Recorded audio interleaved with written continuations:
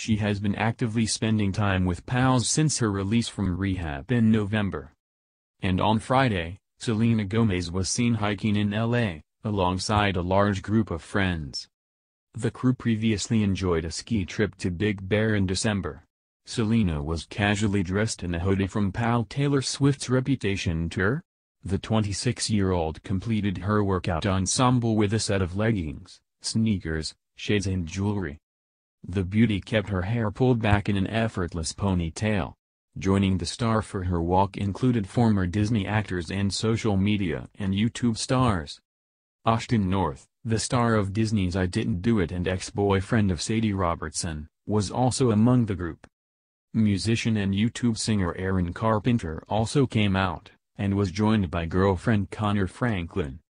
Connor is one of four daughters of popular evangelist, Jentezen Franklin. Just before Christmas, Selena and her pals, along with actress Bailee Madison, enjoyed a tubing trip to Big Bear.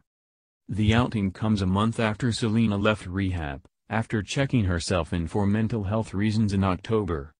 Her decision followed from issues that arose from her battle with lupus, which resulted in a kidney transplant, according to E! It appears that her time in rehab did her well, Selena has been seen hiking and tubing with friends.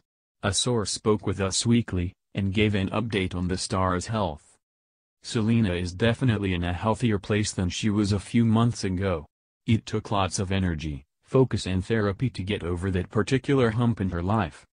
The site said that the star was hospitalized twice in late September for a low white blood cell count in the wake of her 2017 kidney transplant.